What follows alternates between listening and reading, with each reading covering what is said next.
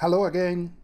This is the fourth part in which we are dealing with electric machine fundamentals and in this part we will discuss the generation of electromotive force, EMF or voltage. And we start by defining Faraday's law. Uh, Michael Faraday in the mid 1800s, uh, he observed, he was one of those who knew that current carrying conductors, i.e., conductors with current in them, either repel or attract, i.e., they behave like magnets.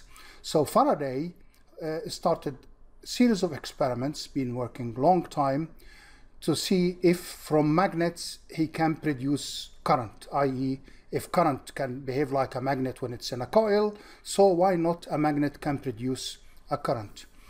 The breakthrough came once when he moved a magnet uh, to cut the uh, turns of a coil and the voltage was produced. And since then, we know Faraday's law, and this is the only law that we will use. We will derive it in different format later, but Faraday's law states that the EMF, the voltage induced in a circuit, is equal to the rate of change of flux linking that circuit. Lambda here is flux linkage in wave vapor per turn. And what we can do is we consider a coil like this one and then what is that lambda we defined it actually in one of the earlier uh, presentation in the series but if all the flux lines were linking all the coil turns then the flux linkage will be n turns of the coil multiplied by the flux phi generally this is not the case as we see here the first turn, this turn is linked only by four flux lines. Similarly, this one and the middle turn is linked by six flux lines. So lambda in this case is 14. And if you wish to define an effective value of the flux that when multiplied by the number of turns of the coil will give you the flux linkage, you will get the effective turn is lambda over n, which is 14 over 3 weber in this particular case. And in some books, you will find that they use n d phi by dt. They're just assuming that all the coil turns are linked by the same number of flux lines, phi. Now, you remember the right-hand rule? If the current is as shown in red, i.e. like the fingers, so the flux lines will be going upward in the center of the coil, going around so this is just a reminder of the directional relationship between current and flux. And of course, if the current if the current was in a long coil going like the thumb, then the flux lines will be circles around that conductor. If d lambda by dt what generates E, then it's not essential that the flux is produced by the coil itself this coil shown here, of course there will be an EMF if the flux, this flux phi changes, there will be an EMF induced in this coil itself. However, if I bring another coil and I put it in the proximity of the first coil, the red coil will be cut by the flux lines, so the flux could be external to the coil.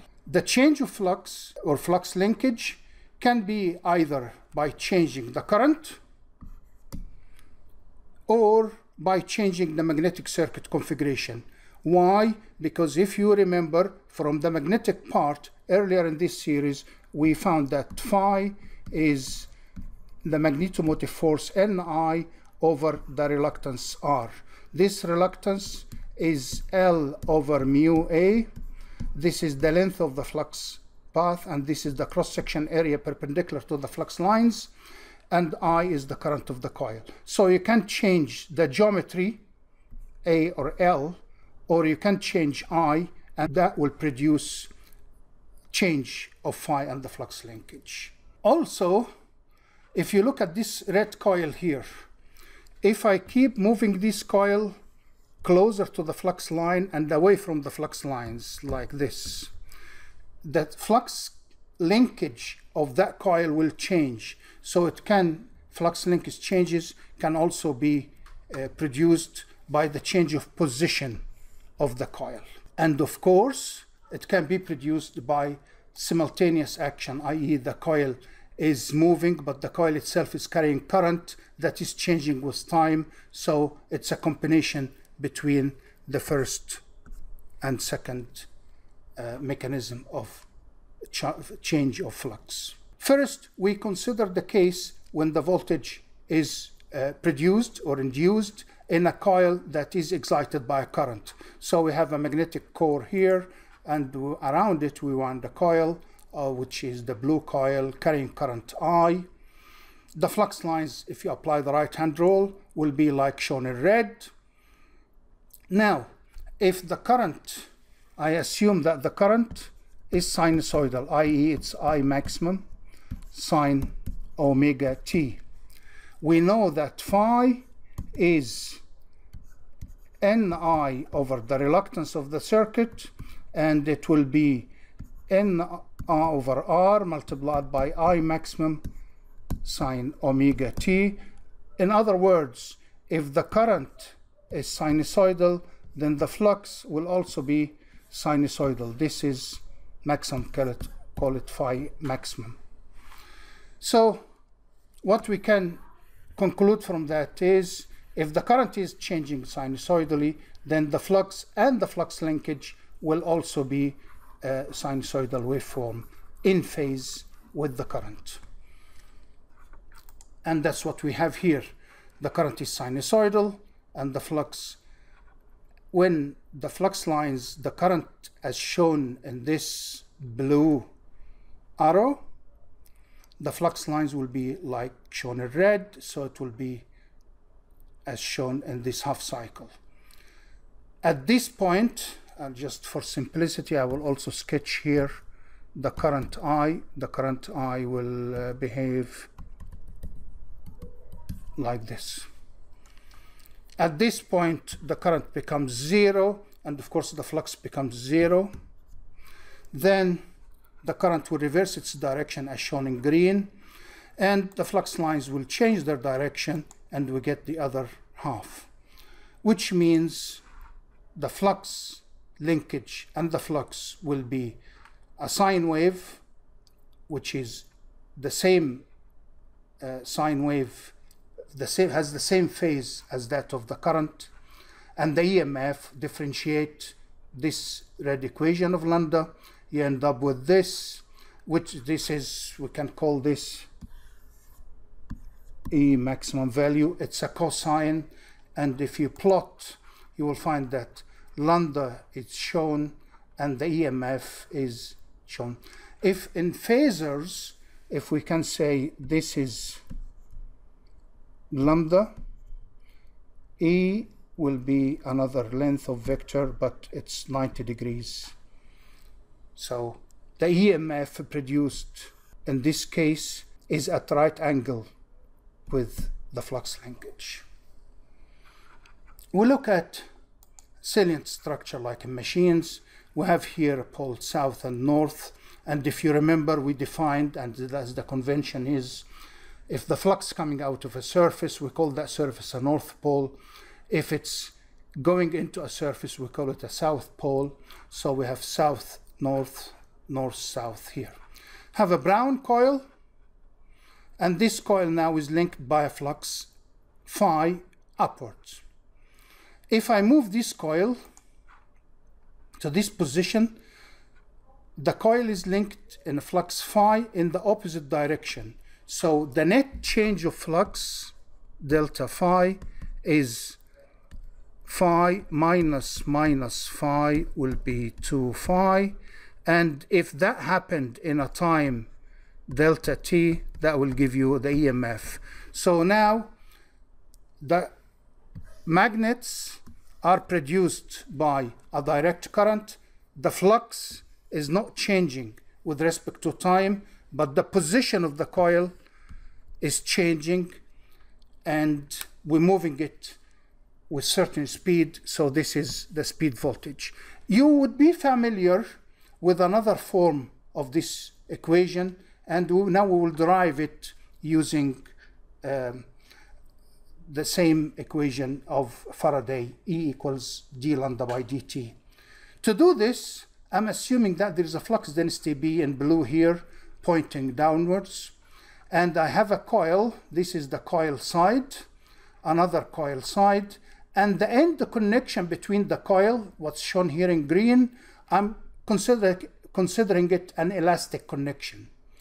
So if it is an elastic connection, in this position here, the flux linking this brown coil, phi, is B multiplied by the area. So it's B multiplied by X, the width here, multiplied by L, which is the length of the, the coil. Now, this side of the coil, the right-hand side, will move. It's elastic connection, so you can see it's stretched a bit here.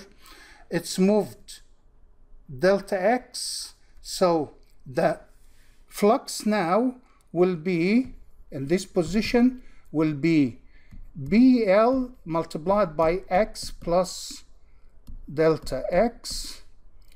The change of flux between position 1 and position 2 will give you our flux linkage delta lambda BL delta X and find E as d lambda by dt so divide this equation by delta t, you end up BL dx by dt. dx by dt is the velocity v. The thing to note here is that the flux is perpendicular to the plane of the coil so there is 90 degrees between B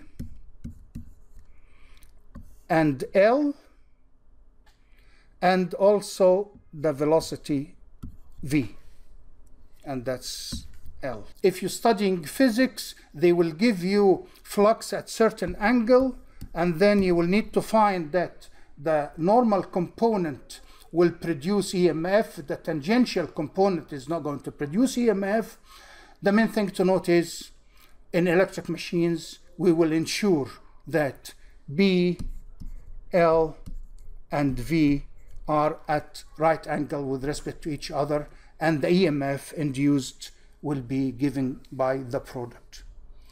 It is very important that you uh, understand that we arrived at this expression BLV, which you would know from physics, by application of Faraday's law. It's not a new relationship or not new law.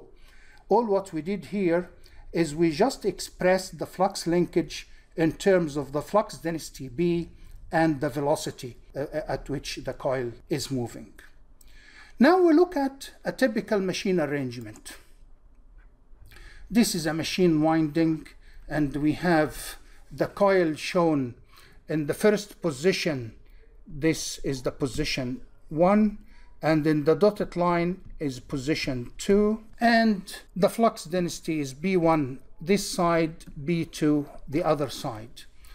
If we apply E equals BLV assuming right angles between flux density the conductor and the speed at which the conductor is moving we have the EMF generated at the coil terminal the EMF as the coil moves from position 1 to position 2 is B1LV, B1LV plus B2LV. What we do in machines is we arrange that when one coil side, like this one, is under, let's say, this is the North Pole, the other coil side is under a South Pole. So B1 and B2 are equal in magnitude, but they are opposite in sign. So what we get here, B1 magnitude equal minus the magnitude of B2 equals B. Substitute in this equation, the total EMF in the coil will be 2BLV.